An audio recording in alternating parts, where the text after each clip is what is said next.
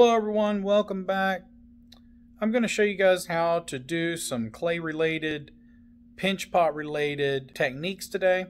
We're going to learn to wedge, do pinch pot, and we're going to take a look at creating texture.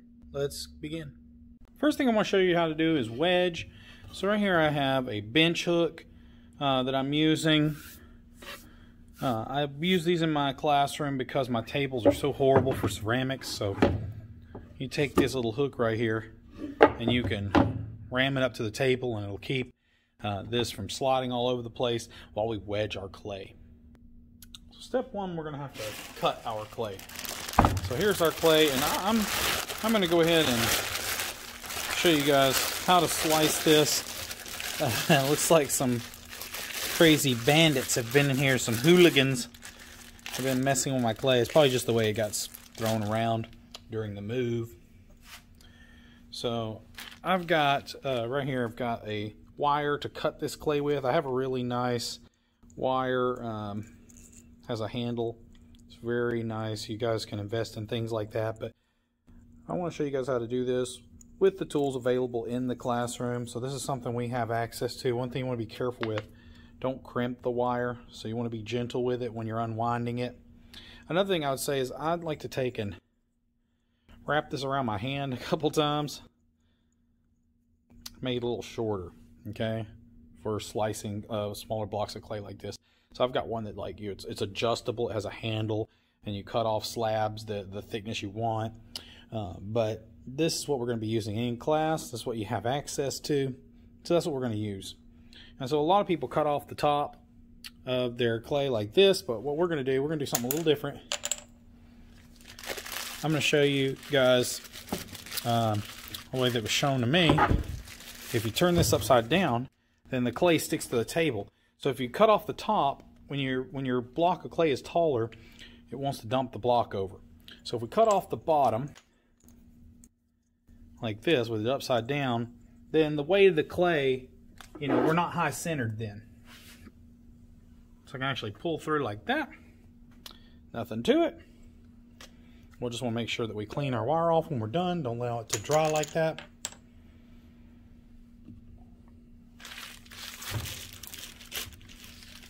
And now we have a nice little slab of clay, which I'm going to go ahead and destroy now.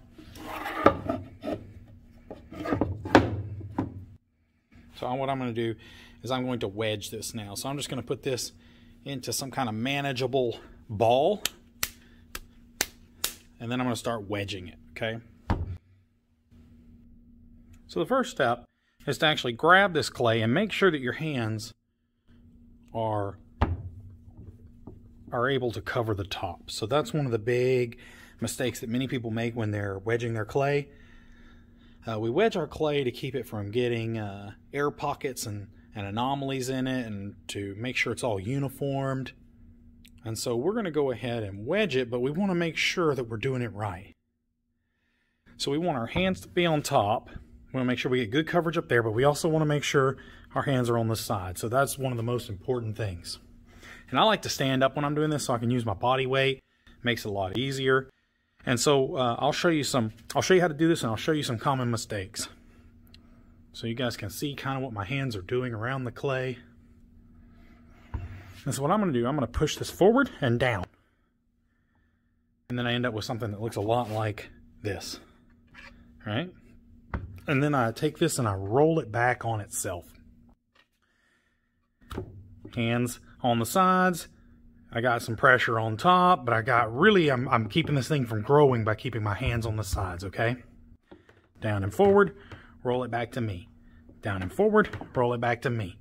Down and forward, roll it back down and forward, roll it back. And there's really nothing, uh, there's really nothing as nice as having a good ceramics table to work on, but we don't, and we probably never will, so it is what it is. Down and forward, roll it back, down and forward, roll it back. You see when I roll it back, my, my bench hook slides a little, but it is what it is. Down and forward, roll it back, down and forward, roll it back, down and forward, roll it back. It's a lot more of an even motion when you don't have to worry about the bench hook. But like I said, if you don't, the bench hook keeps this from sticking to the table and making a complete horrible mess. when you're wedging this right, what you end up with is what we call an alien head, right? So I'll show you. I'll wedge this a few more times. Show you what we got here. All right. So now we got our alien head. We got our, our lips right here. However you want to see those. You got the eyes on the side. Okay. I usually just do it a few times and I turn it over. Wedge it a few more on the other side. When your board starts to get too damp, you can move it to keep the clay from sticking. So you do that on any surface that you're that you're wedging on. You don't want to overdo it though. So you overdo it, your clay will dry out. Once again, we got our alien head, we got our lips right here, we got our eyes on the side. So he's a strange looking fellow, but now we're wedged, we're ready to pat this into a ball, into a shape that we can work with. It doesn't have to be perfect. If you're making a very round geometric bowl, this may not even be the style for you. But if you are, the rounder the that you get it, the more spherical you get it, the easier it's going to be later on. But it isn't really it isn't really that crucial. It's all in how you hold your hands later. Now, the one thing I will say about wedging is when we're wedging, one of the big mistakes that people make is when they push down and forward. When they go forward, they move their hands like this. Don't do that. Keep your hands in that same position like I did. Okay? Do not go, do not move your hands out of the way. When your hands bottom out on the board, that's what it is. They bottom out on the board. Just deal with it, right? So they'll just rub against the board. Uh, don't try to move your hands out of the way because when you do that, that's when you start to get this thing. You move your hands out from the sides of the clay, and the clay begins to grow and grow and grow and grow out sideways. And you don't want that. So that's probably the most common mistake when wedging. And then uh, I'm going to show you the pinch pot technique from here. And then I'll show you the most common mistake with the pinch pot technique. All right, so now that we got uh, roughly a spherical shape here, what I want to do is pick my where I want the top of my pot to be. So I'm going to say it really doesn't matter extremely. I'm just kind of looking to see if I've already got some kind of odd anomaly, like some kind of wrinkle or something like that that I can get rid of. It's not too bad. So what I want to do is I want to take my thumb and I'm going to push it down into the pot. Okay, sound effects are important. Okay, this is serious business. All right, and what I want to do is I want to stop my thumb from going out around, you know, this thick toward the bottom, right? So I don't want to go any further than that. And so what I want to do, if I want to make a round pot like I'm going to make for you today, a rounded pot, I'm going to keep my hand round, okay? So what I'm doing is I'm smashing my thumb into the clay, and that's mashing the clay into the shape of my hand. My hand is behaving like a mold, and my thumb is acting like a, uh, it's acting like some kind of piston pushing that clay into the mold, right? So if I want a flatter pot, I can hold my hand flat, okay? And that'll mash it into a flat shape. If I want it to be angled, I can angle it. If I want it to be angled out, I can angle it this way. Uh, you know, basically, whatever I want to do, whatever shape I want this to be, I need to hold my hand and maintain that shape. Okay? Now, one of the most important things is that we start at the bottom and work our way up to the top. So right now, I'm just going around this bottom layer. After I'm done with that, I'll go around the second layer. And then I'll go around this higher middle layer. And then finally, I'll go around the outside, the top. But the reason we have to do it in this order is because this thing grows as you are mashing this into shape. Once again, all I'm doing is just kind of pinching this into my hand, working around the, the very bottom portion first, then I'll go to the middle.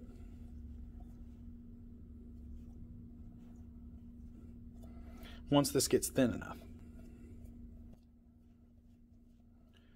Uh, I say pinch it, pinch it into, uh, you know, small amounts. Don't try to mash it all at once.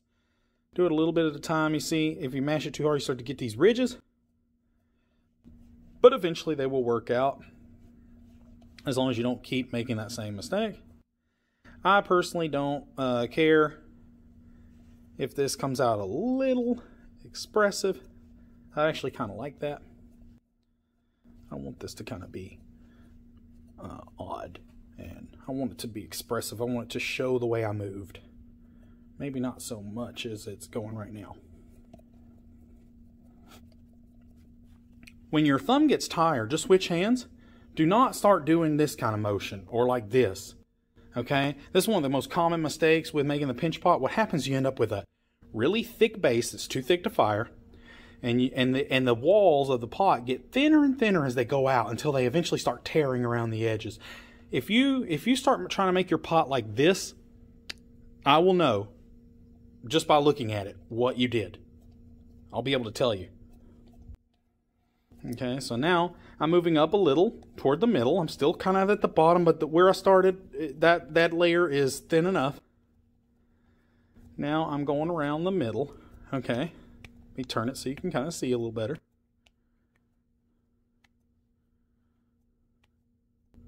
And when my hand tires out, I'll switch hands again. So main thing, we just want to keep the same method. We don't want to change methods in the middle.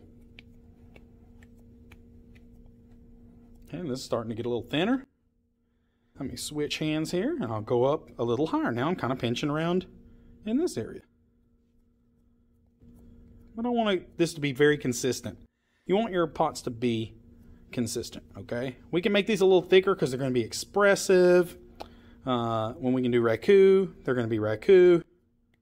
And so the thickness may not hurt, but you don't want this thing to be so heavy that you can't actually use it for anything. So these are going to be real when we're done. Now, if I want this thing to be really rounded at the top, I can really curve up here and I can make sure this thing uh, stays that way. But as you see, I've relaxed my hand a little because I want this to come, I want it to come open up a little bit as it goes up to the top.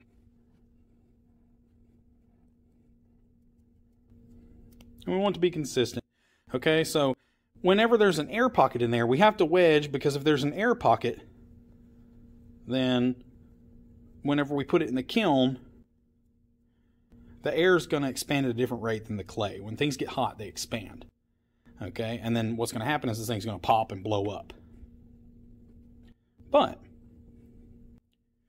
if I make it different thicknesses, that means there's going to be moisture different amounts of moisture in here possibly. If I get it too thick, what's going to happen is there's going to be some moisture buildup. And if I don't let it dry all the way, I'll show you different techniques to make sure that your pots are dry before you put them in the kiln. But if, if there's, you know, these inconsistencies, number one, it looks bad. Number two, if, if you get it too thick in one spot and there's water in there where the rest of the pot's dry and you didn't catch it, then the water will expand at a different rate than the clay and the clay will explode. when I say it'll explode, I mean it'll blow up like a grenade, okay? I've had students who've made that mistake before. It'll blow up, destroy your work, destroy everyone else's work as well. Okay, so this is the, the piece that I've got right now. Now I just want to show you one more thing real quick. Uh, I'm going to show you what you can do if this thing is not the shape you want. So I've got a very traditional kind of bowl shape here. Whatever way I push it, that's the way it's going to dry. So if I want it to be very, very geometric, then number one, pinch pot might not be the technique for you. But if you do want to be very geometric, you're going to have to shape it that way before it dries. Okay. Now, one other thing I'll note. I did this on purpose so you guys can see it. You always want to work with a, a bowl of water. You see how I'm starting to get little cracks and stuff up at the top, starting to get a little dried out. I'll show you what causes that and how to fix it. All right. So now we're ready to make some alterations here. Get this thing kind of the way I want it. All right. So what's happening here is we're starting to get some cracks, but I can smooth it out just by dipping my finger in water. I can make this really smooth. I can make it just like I want it. I can kind of change the shape and alter it. You see I'm making it kind of more geometric now starting to get that kind of hard edge. That's not exactly what I'm going for here. But one thing I will show you, the reason it's starting to crack or, or get dry in places, it is getting dry. That's why it's starting to crack. Uh, and so what I want to do, if, if that's happening every so often, I want to just dip my fingertips in water And then I'm going to rub them together just like I'm washing my hands, okay? And that'll keep your hands hydrated. You don't want your hands uh, soaking wet, dripping wet, because what you'll do is you'll make a sloppy mess out of your clay, but you do want them to be hydrated because your clay is drawing moisture out of your hands. And uh, and what's happening is your hands drawing moisture out of the clay, your clay wants to dry, draw moisture out of your hands, and vice versa. And so the clay is going to get dried out, so is your hands. So what you want to do, you want to go ahead and keep them hydrated by dipping them every so often if your hands get dry and just rub them together like you're washing them and that'll kind of soak the water, evenly distribute it. And I found that's what works really good for me. You can also use more water to do different things. So if I want the, the bottom of this to be smooth, I can actually kind of smoothen it out. Just a little water.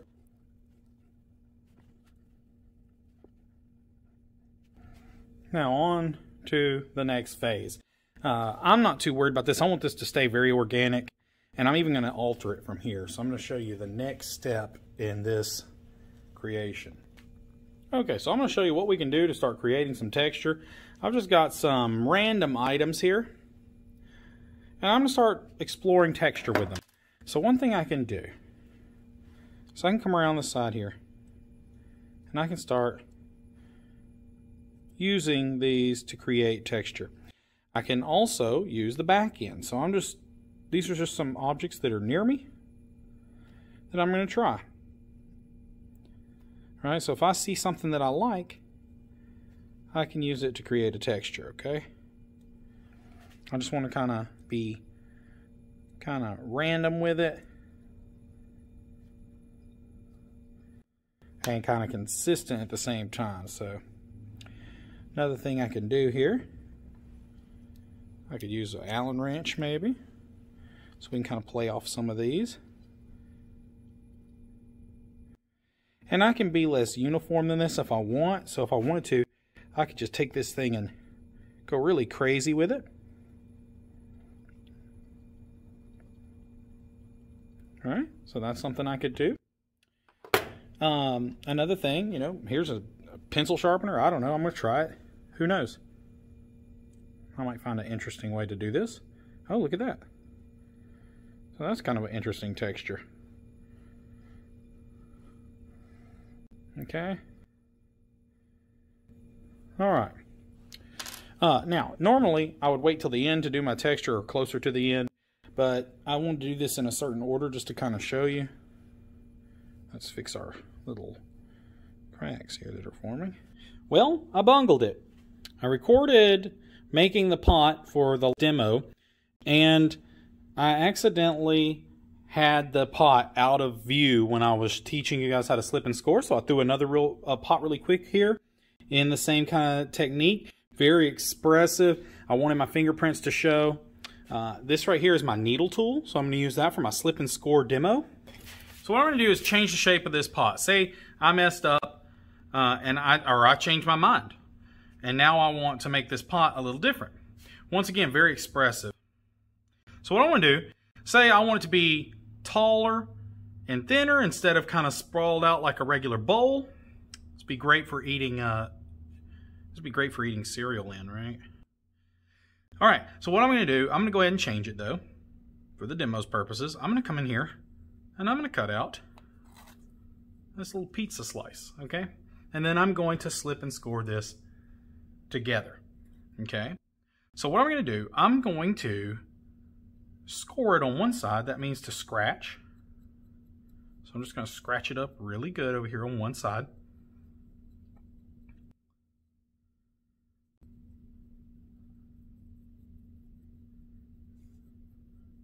Okay. So now that I've got that good and scratched up, now what I'm going to do is I'm going to scratch the, uh, the opposing side here on the opposite side. You see I scratched this one on the outside, I'm scratching this one on the inside. Well, there's a reason for that. And that way I can push them together. So what I'm going to do, uh, instead of using slip, I've got slip here. I can pour in some slip. It's a liquid clay solution, but I do that in other places, so in other demos, so I won't use it right now. I'm just going to use water to show you that that is a possibility for those of you working from home. Um, you can make slip by smashing your clay up into water. But if you need to do this in a pinch, you don't actually have to use slip. So now that I've slipped, uh, now that I've scored both sides together,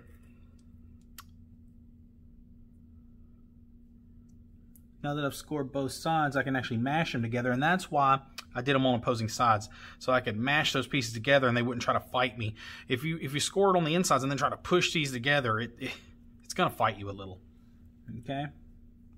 So what I'm gonna do now, I'm gonna drag my nail across this and show you how to do this without tools. Once again, if you're doing this from home, you can invest in all the cool tools that you want, um, but you don't have to. You can do this with your fingers. Just make sure you trim your nails because if you don't trim your nails, you're going to have trouble. You can use the backs of your nails to kind of smooth these little spots out and blend them together.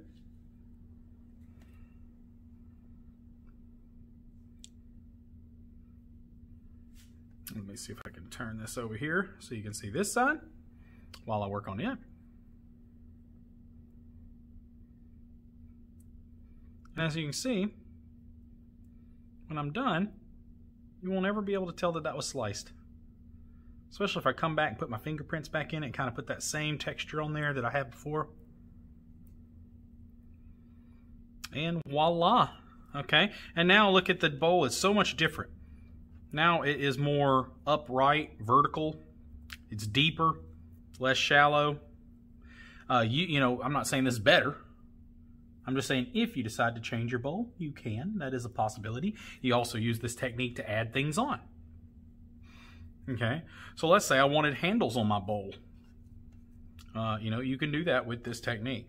So I'm, once again, I'm going to slice some handles off with my needle tool.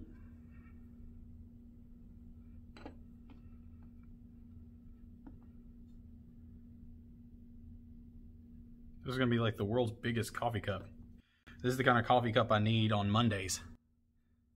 So once again, I'm to scratch it up. That's called scoring. We'll talk a little bit about the etymology of that word in class. And then I also want to score where I'm attaching it. So let's kind of mock it up here and see where it's going to fit. You see how this is very expressive? I want it to be that way, okay? You can refine these and make these as smooth and nice and pretty as you want. So I can take and measure this out, see what it's going to look like. I like that, I think. I'll mark it out. That way I don't score too much. Whew. All right, so the sound effects are very important. Okay, now this time I will use a little slip just for fun, just for funsies. All right.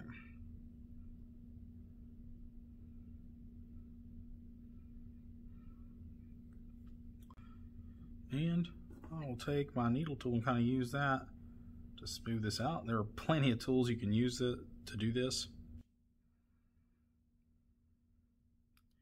They make some really nice silicone tools. Maybe I'll put those in a demo. Uh, later on I have some show you if you want to invest in those. You can actually get them pretty cheap on Amazon. Helps you get into those hard to reach places and smooth these these little surfaces out. Really wonderful little modeling tools.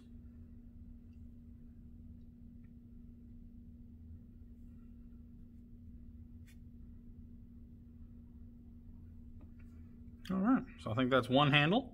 Do we want another one? Why not?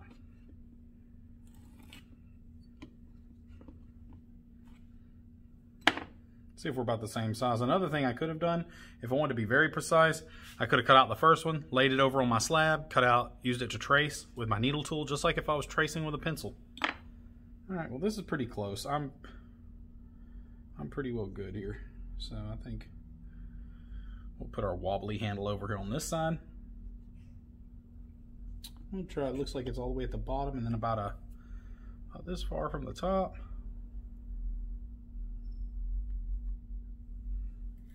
Make sure they're straight.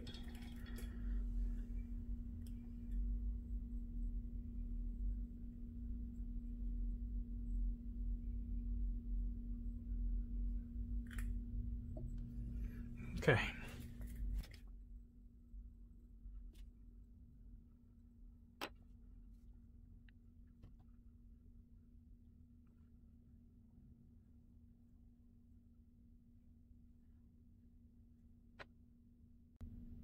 We can use a modeling tool to drag across this or the back of our fingernails or even the needle tool if we get desperate. So if you can only afford one tool, you can do that. Um, but I will give you a demo on how to use the modeling tools later, but it, it just kind of makes it seamless, and that's what you like. We want it to kind of look like it flows from the pot, it belongs to the pot, it's not some ad hoc thing. It was always part of the design, right? Even though it was ad hoc, and I just came up with the idea to put handles on it just a few seconds ago. And this is like one very ugly bowl. But, you know, who knows? I might be able to do something with it to kind of spruce it up. Uh, I like the organic look, but with the handles added, uh, I'm not a big fan of the organic look with the handles in this particular instance. I'm sure I could have done it a different way and I would like it better. But one thing you got to realize, um, you know, I always have the opportunity to change this any kind of way I want to. So I can do all kinds of fun things with this. Or I can just throw it away. Restart over, right? Just wedge it back up into a ball and begin again.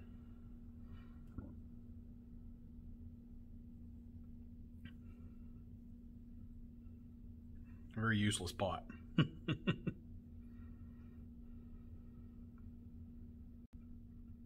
we got a tear right there.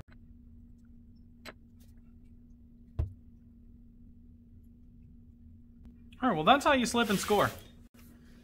The slip is the water clay solution. Mine was a little runny today. I just mixed it up. I think I need to add a little more clay to it. And the score is to scratch. Hiya!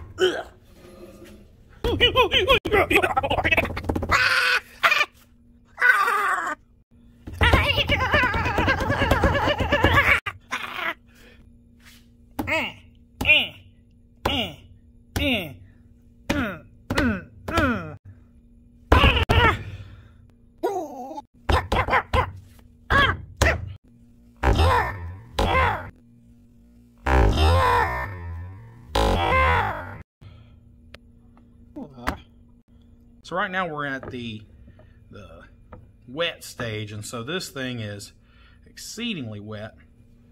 So I want to show you maybe another little trick here to the trade. So something else I can do, I can use other things to kind of make these things hold their form while they're while they're wet. Okay. So if I want this to kind of be more of this kind of shape, I can come in here, put it in the shape I want, and make sure that gravity is not harming me, right? I'm going to go ahead and say this needs to go something like that. That's a little more centered. Get it where I want it, and then I can leave it. Okay. Also want to use my hand maybe for backup on this. Maybe I'll continue my eclectic little texture thing here. I'll make a combination of textures maybe. I don't know. We'll see probably just going to be a big mess. Now I'm going to pick some more places to do other textures at. This is going to be very heavily textured, right?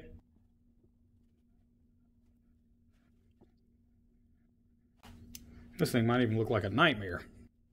And we can't forget about our pencil sharpener. Now I would select, you know, less textures, but since I've done them all, for the demo, I'm just going to do them all. Finish it up. Who knows? Who knows what kind of Frankenstein monster we're going to be creating here. Okay, so now we've got a heavily, heavily textured form here. All right, so we'll see how that turns out. Uh, I'll just mess around with the shape a little bit. Maybe not, uh, maybe not too much on this video, but I'll mess around with the shape a little bit before it dries.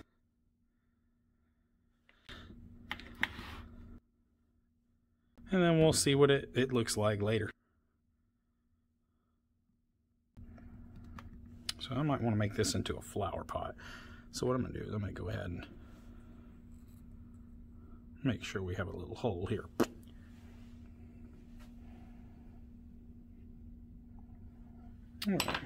And then maybe narrow it just a little so that all there our soil doesn't fall out. And we can keep it very organic still if we want to, just to match the rest of the pot. All right. So now we've seen how to slip and score, how to wedge, how to uh, create a pinch pot, how to create texture. And you can do this with just about anything that you have lying around. So we, maybe, I don't really care about a texture on the bottom, but just to show you, I found an ink pen here. This might make something cool. Um, the bottom's different than the top. It's not really registering too much. Um, you can get a really light texture from this sandpaper. So anything you have laying around, typically, you can use to create texture. So try out a bunch of different things, just see what you have, and uh, think about what might look good on your pot. All right. Until next time. All right, here we are the next morning. I've put my piece in a bag so that uh, it would dry out a little, but not all the way. So uh, I didn't cover it too tightly, and the bag actually has a hole in it. And so that's something you might want to experiment with. It's going to be harder to, to do things like this in class because you're going to have all of these uh, days where you're not going to be here. We're going to be very careful in removing our thing here not to tear a hole. All right, so now that it's a little more firm, you see it stands up on its own now. The other day it didn't. Now I can kind of patch some of these uh, things that messed up, and I can more shape this thing the way I want it. So now I have a little more control over it. So allowing it to dry the right amount is going to be something that's crucial. Now I have a little place right here where I've scored. I've scratched it up really good. There was some damage done there that I've got to repair. I'm going to go ahead and score this side up really good too.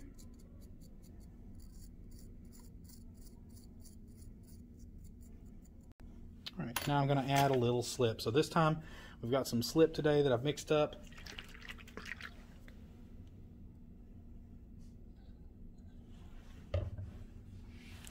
And the slip is just a water and clay solution. So that's going to kind of really bind this together. Make sure there's no air bubbles. One thing I'll point out real quick. If you see what I'm doing right here, you can use a tool or your fingernail to kind of drag it backwards across there and kind of join these pieces together.